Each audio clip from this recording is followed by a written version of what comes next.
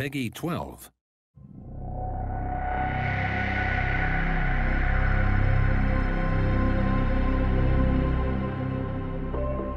I'm Łukasz Żarnowiecki. I'm CEO and lead programmer in Creative Forge Games.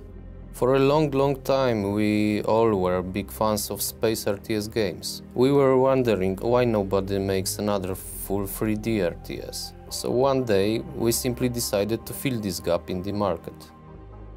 Navigation in ancient space allows full 3D movement, meaning you can order your units in all three axes.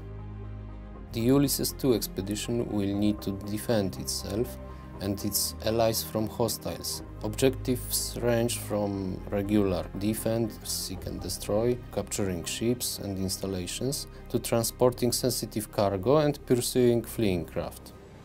Tactical combat is an essential part of the battlefield situation in ancient space. We've introduced four different size classes, many units with their unique look and feel and set of abilities.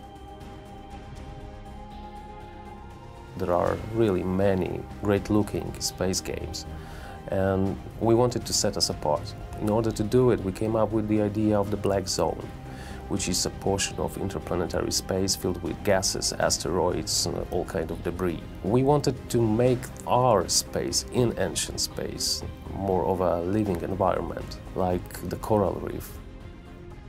Throughout the campaign, you collect module schematics that you can exchange for carrier upgrades. In addition to that, your flagship can change setups from a more support-oriented to a more combat-oriented.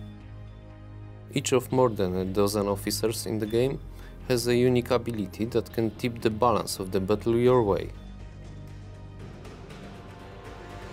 Looking at ancient space, we knew right from the start that it would be really hard to have a story where the characters would be the central parts. So instead, we focused on the actual mission. One of the first things we said was that Ancient Space was a NASA mission and not something like Star Wars, which is very operatic and heavy on melodrama. It's not a rip-roaring adventure, it's a little bit more of a contemplative mystery kind of thing. During recording, we actually had NASA transmissions for the actors to listen to. And even if there are dramatic events unfolding, the, uh, the characters will always keep their level professional edge. It was really important for us to get the right voice actors. We ended up with something really special, I think, where we have actors and one actress from just about every corner of sci-fi fandom. One thing we really love about many space games is the opportunity to discover. One of the really good ways of doing that is making sure you have a home. Han Solo has his Millennium Falcon, Captain Kirk has his Enterprise, Malcolm Reynolds has the Serenity, and we have one called the Ulysses 2. It's this huge aircraft carrier building machine in space that you guide along. We kind of think of it as an extra character in the game, uh, especially since the ship's computer is voiced by the wonderful Dwight Schultz. He sort of adds a really cool personality to the whole thing. We here at Paradox and a lot of guys at Creative Forge have put an extreme amount of effort into this game and uh, we all hope that you think it's as shiny as we do.